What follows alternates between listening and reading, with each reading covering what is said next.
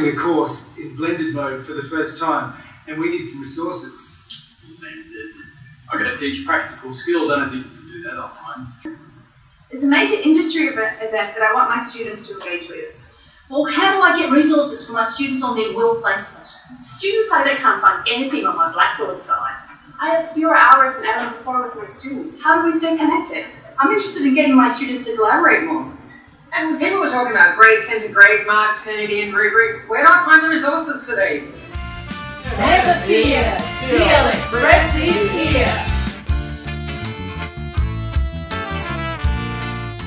Find a link to one of the four events in your email or on our website, accept that, and then get your portable computer, connect it to the university wireless and make sure you bring it to the workshop. We'll be using Google Plus Communities a lot, uh, Google Drive, and a few other online things in the workshop.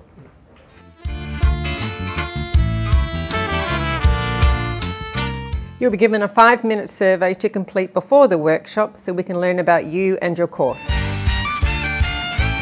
Come along to one of our four startup workshops. It's two and a half hours, and we'll spend that time uh, scoping your project, and you'll get to meet the people that you'll be working with. At the workshop, the design activities we'll be going through are personas, course map, action plan.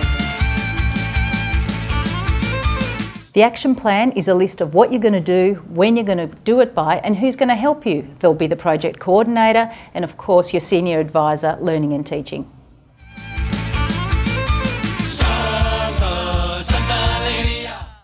I learned how to create video lectures. Yeah, I'm using video as well. We're using the phone out in the field. Uh, I'm recording skills, and the students are sending videos back to their skills. It's good. I've supported students using Twitter and Instagram within the course. I have an infographic in Blackboard showing uh, everything about WIL, and we have a Google community for the students to get together.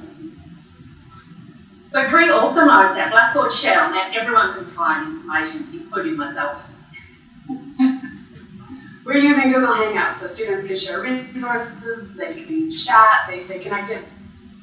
We're using Google Drive to collaborate with documents. And I'm now using rubrics in my online courses, and I know where all the resources are and using Turnitin, Grade Mark, and Grade Centre is fabulous.